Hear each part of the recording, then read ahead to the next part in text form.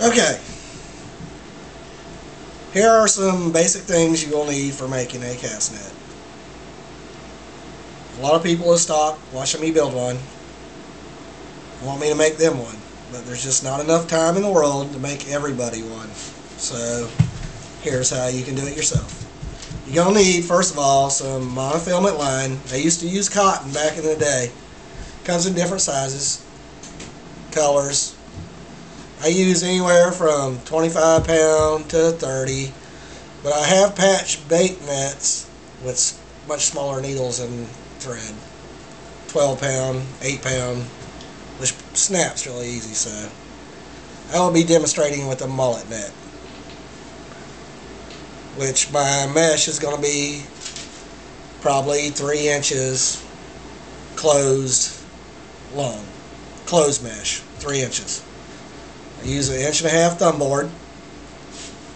That determines my mesh size. Because from knot to knot it's going to be an inch and a half, but closed it'll be three.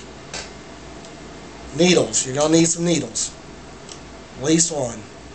The best wood is hickory, but you can make them out of plastic or anything. Uh, I'll show how to make those also. Very simple. Thumb board. This determines your mesh size. Like I said, uh, if you have an inch and a half thumb board, that's going to give you a three inch closed mesh, and so on. Half, you double it. Multiply your thumb board times two, and that'll be the size of your closed mesh. Uh, wire to get started with. Your first row, you're going to have to use a wire. After that, you'll need some string. Shoestring works fine to tie. Take these off your wire. No longer need that. Tie it to your string. You're good to go. Now some clippers, just to uh, clip the monofilament. It's a lot easier than biting it. A piece of 4 to 6 inch PVC, 2 inch diameter. You'll reshape that in the oven. And uh, lead. You're going to need some lead. These are various sizes, shapes. Anywhere from, these are like an ounce to an ounce and a half.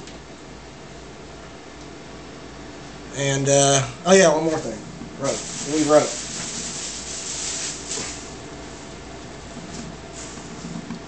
I believe this is uh, 3 sixteenths, 5 sixteenths diameter.